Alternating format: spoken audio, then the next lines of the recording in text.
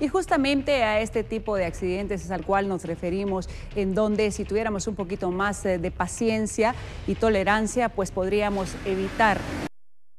complicaciones cuando conducimos y también la pérdida de vidas, como en el caso de las imágenes que aparecen en donde el ayudante de un camión, Alberto Rosel, de 31 años, se salvó de morir aplastado por material de construcción este sábado, cuando el vehículo donde viajaba volcó sobre el kilómetro 90 de la Ruta Nacional 14, en la carretera que comunica al departamento de Escuintla con Zacatepeques y Chimaltenango. El piloto identificado como Herbert Pérez, de 35 años, indicó que perdió el sistema de frenos en una bajada donde el camión comenzó a tomar velocidad. El conductor quiso detenerlo, lo que provocó que se saliera de la carretera y volcara. Por situaciones como esta, los cuerpos de socorro hacen un llamado a los pilotos, sobre todo a los del transporte pesado, para que tomen sus precauciones desde el kilómetro 88 de la Ruta Nacional 14, donde comienza la bajada, pues en esta ruta particularmente se han registrado constantes colisiones.